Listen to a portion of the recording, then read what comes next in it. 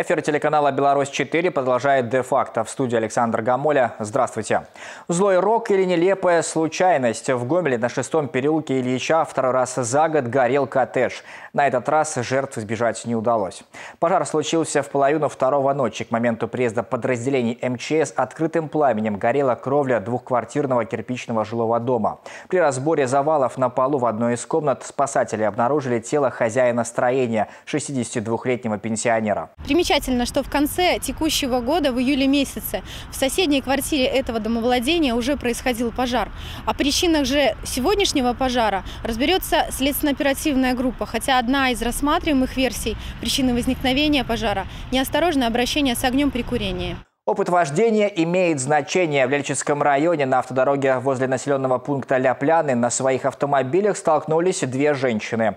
За рулем иномарки, которая выехала на полосу встречного движения, находилась 29-летняя водитель. Как сообщают в ГАИ, женщина не учла габариты своего автомобиля и ширину проезжей части, из-за чего выехала на полосу встречного движения и столкнулась с автомобилем марки Volkswagen. В результате дорожно-транспортного происшествия женщины-водители получили телесное повреждение ранения и были доставлены в Лельчинскую центральную районную больницу, откуда одна из э, женщин была госпитализирована в хирургическое отделение, вторая отпущена домой. А в Гомельском районе на 28-м километре трассы М10 решающим фактором ДТП стало отсутствие фликера на пешеходе. 72-летнего мужчину сбила фура.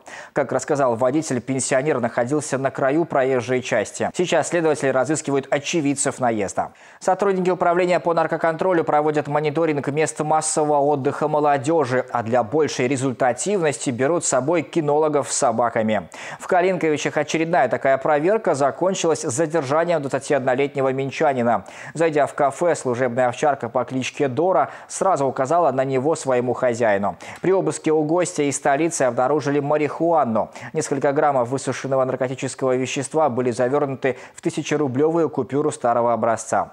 Парень прятал ее в кармане. А уже в Минске при обыске гаража подозреваемого был обнаружен еще один сверток с травкой. Возбуждено уголовное дело. Таков обзор происшествий к этому часу. Оставайтесь с нами и берегите себя. Я Александр Гамоля. Благодарю за внимание. До свидания.